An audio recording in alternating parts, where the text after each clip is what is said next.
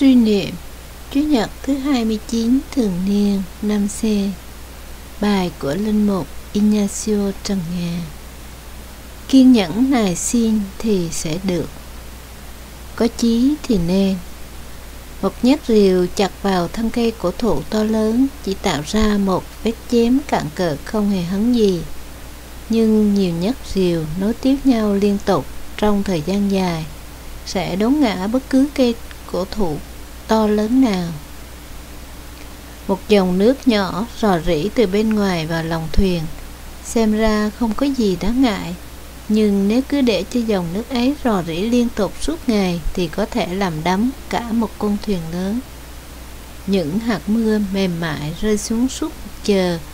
Chưa thể làm gì được gì lớn lao.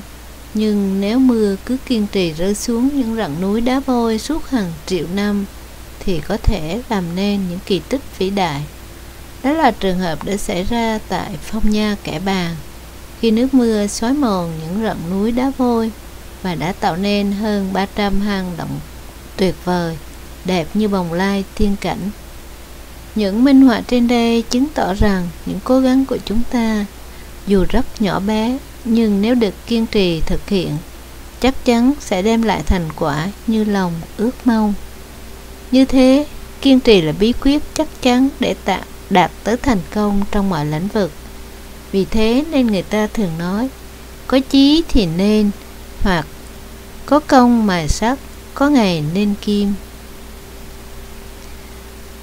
Kiên trì cầu nguyện chắc sẽ được nhậm lời. Trong lĩnh vực tâm linh cũng thế, nếu chúng ta biết kiên trì cầu nguyện, chúng ta sẽ nhận được điều chúng ta nhẫn nại cầu xin. Để vậy chúng ta kiên trì cầu nguyện không sờn lòng nản chí. Chúa Giêsu kể dụ ngôn sau đây. Có một ông quan toàn ngang ngược, chẳng kính sợ Thiên Chúa, coi thường mọi người. Gần nơi ông ở, có một bà góa tứ cố vô thân đang gặp nỗi ân khiên, nên chạy đến nhờ ông xét xử, mà lần nào cũng bị khước từ. Tuy nhiên, vì bà góa cứ kêu nài mãi, nên cuối cùng ông quan toàn nghĩ lại Dẫu rằng ta chẳng kính sợ Thiên Chúa mà cũng chẳng coi ai ra gì. Nhưng mụ gói này quấy rầy mãi thì ta xét xử cho rồi. Kẻo mụ ấy cứ đến hoài làm ta nhức đầu, nhức óc. Rồi Chúa nói, Anh em nghe quan tòa bất chính ấy nói đó. Vậy chẳng lẽ Thiên Chúa lại không minh xét cho những kẻ Ngài đã tuyển chọn Ngày đêm hằng kêu cứu với Ngài sao? Lẽ nào Ngài bắt họ chờ đợi mãi sao? Luca chương 18 câu 2 đến câu 7 Thiên Chúa ban điều tốt lành hơn ta mong đợi. Thế thì tại sao có những khi chúng ta kêu xin nhiều lần mà chẳng được Chúa nhầm lời?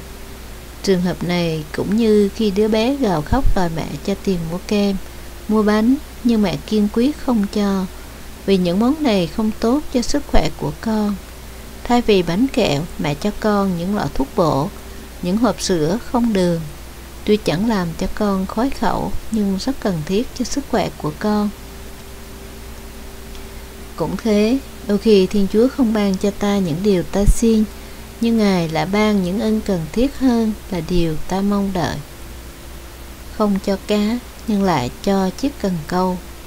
Có những người cha khôn ngoan không muốn cho con mình trở thành kẻ ăn xin lười biếng, nằm há miệng chờ sung, mà muốn tạo cơ hội cho con cái trưởng thành Đến khi đứa con xin con cá Ông không cho cá mà lại cho chiếc cần câu.